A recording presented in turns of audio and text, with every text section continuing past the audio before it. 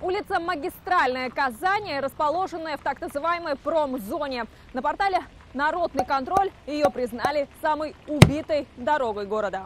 Местами глубина ям достигала 40 сантиметров. Правда, сейчас самые опасные участки засыпали щебенкой. Быстрее рак на горе свистнет, потому что дороги вообще людям ходить негде. Новую дорогу и вправду здесь ждали давно. Сотни большегрузов ежедневно только усугубляют ситуацию. Под полотном множество инженерных коммуникаций. Их нужно переводить, поэтому подготовка затянулась.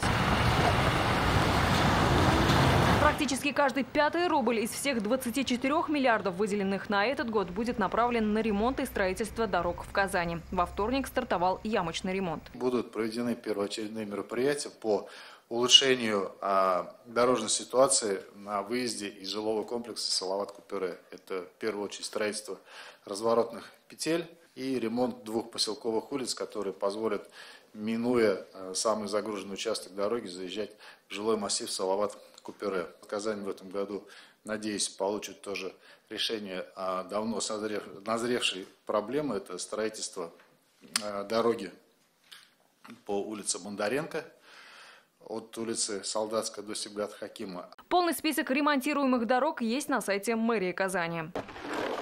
Дорожников в Челнах ждут на проспекте Дружбы народов, пока десятки автомобилистов меняют колеса. В Челнах приведут в порядок 42 километра дорог. В этом году в республике построят 87 километров дорог, что решит вопрос бездорожья в 28 населенных пунктах. Дорогу проложат 19 садоводческим обществам и 27 фермам. Половина всех денег уйдет на ремонт. Завершится реконструкция трассы М7. На особом контроле колейность.